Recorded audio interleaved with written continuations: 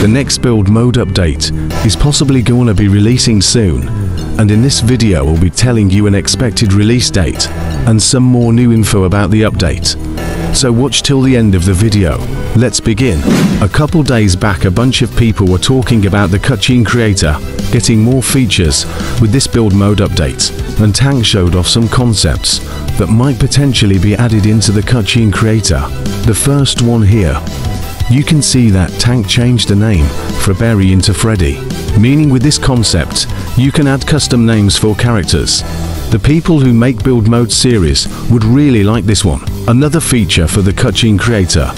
If you use that thing often, you'll know that we only have three animations for the characters, and people suggested that we get more animations to work with, such as sitting, waving, thinking, and even punching animations for fighting scenes. These are not 100% confirmed to be added, but Tank might add this to his concepts, potentially getting added to build mode in the future. Before we move on, what other things would you like to see in the Cutscene creator?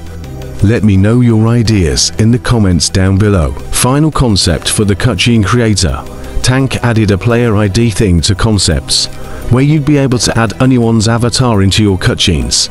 This would also mean we can place down more than one play-actor, which is kinda cool. And finally what you all have been waiting for. When will this update release?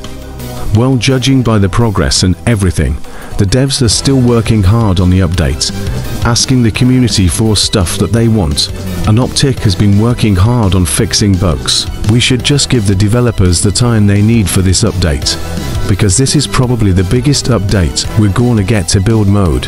An expected release date would be sometime in June or late May. But that's just an expected release date, so who knows? What do you all think about the upcoming build mode update? Are you excited for it? Let me know in the comments down below. If we get any more news on the update, I'll definitely be making videos on it. So make sure to subscribe to the channel, so you never miss out on the latest Piggy news or info. That's everything for now. Have an amazing day folks.